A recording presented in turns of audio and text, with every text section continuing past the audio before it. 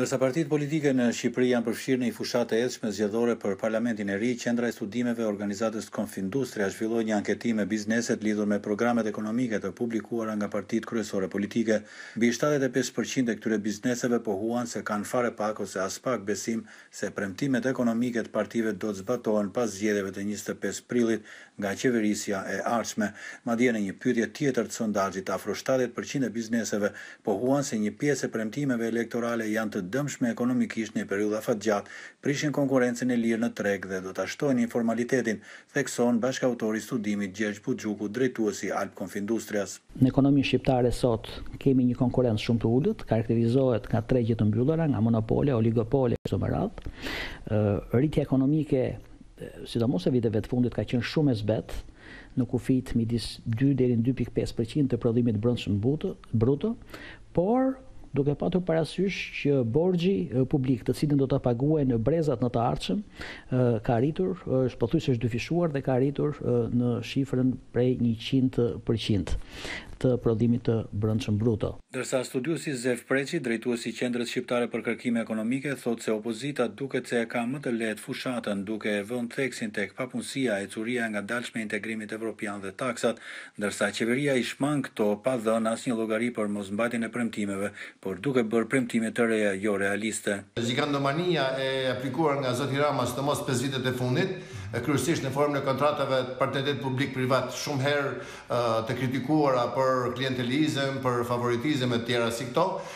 në thelb është një një praktikë që nuk duhet të vazhdojë dhe kushdo që qeverisë duhet të heqë dorë nga ky kurs rrënues për zhvillimet makroekonomike në periudhat që vijnë. Zoti Buxhuku shtoi se zgjedhjet e njëzet e pesë prillit po mbahen në mesin e një krize politike dhe në një rënie të përgjithshme të sistemit institucional demokratik në Shqipëri, ku pushteti qendror dhe vendor janë bërë monopartiakë, ku gjykatat dhe ekonomia kanë një mori vështirësish dhe defektesh themelore. Problematikat ne i kemi me mënyrën se si jemi qeverisur dhe se si është menaxhuar gjithçka deri më sot. Megjithatë, unë mendoj se. Nga ana tjetër, i kemi të gjitha mundësitë që duke njofur ku kemi gabuar,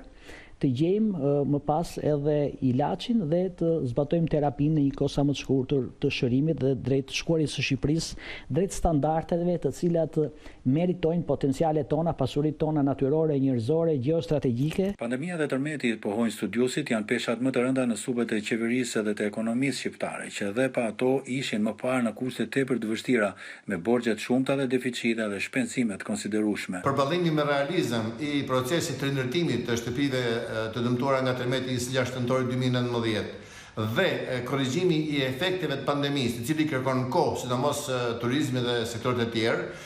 sepse lidhen, kjo lidhet ngushtësisht edhe me përmirësimet në infrastrukturë, në cilësinë e shërbimeve,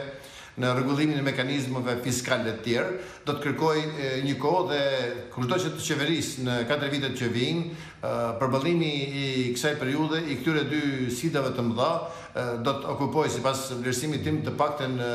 dy vitet e para të qeverisjes. Nga pikëpamja teorike, pohojnë studiuesit, debati kryesor mbetet ai i para tetë vjetëve, nëse bizneseve u duhet ngarkuar një taksë e sheshtë deri në nëntë për qind sipas opozitës, apo një taksë progresive nga pesëmbëdhjetë për qind e në rritje sipas socialistëve. Por, më e rëndësishmja sipas tyre, mbetet zbatimi praktik i këtyre masave fiskale, rritja e punësimit, mirëqeverisja, mosthellimi i borxheve, shmangja e ndërtimeve të shtrenjta dhe të panevojshme, që e mundojnë ekonominë shqiptare edhe shumë vite më pas. Për Zërin e Amerikës, Ilirian Agolli, Tiranë.